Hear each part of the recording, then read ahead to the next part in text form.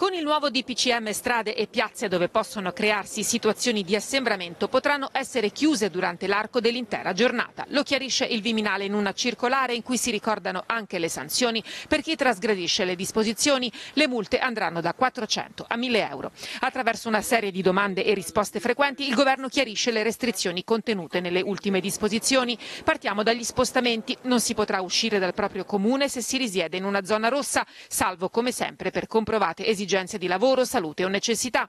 Sarà possibile invece nelle regioni arancioni e gialle. Si potranno raggiungere le seconde case solo per urgenze nelle zone rosse, scenario valido anche nelle aree arancioni fuori dai comuni di residenza, mentre resta libera la circolazione nelle regioni gialle.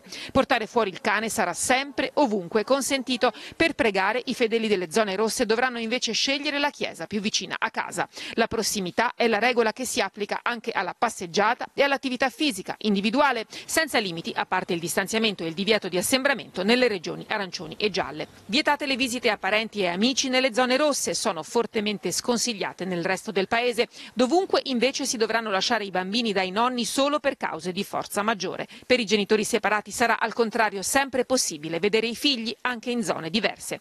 In tutte e tre le fasce sì ai ristoranti aperti negli hotel ma solo per gli ospiti, sì al montaggio di mobili ordinati prima del DPCM e alle riunioni di condominio, banditi su tutto il territorio nazionale, i mercatini di Natale.